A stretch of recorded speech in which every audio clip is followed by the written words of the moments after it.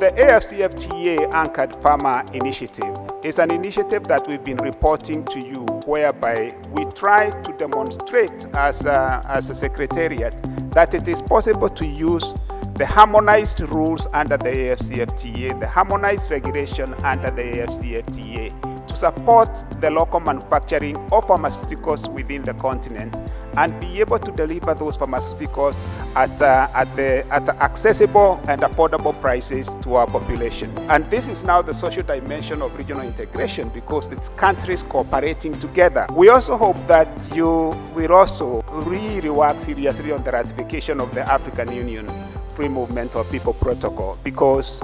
this is one piece that is really holding back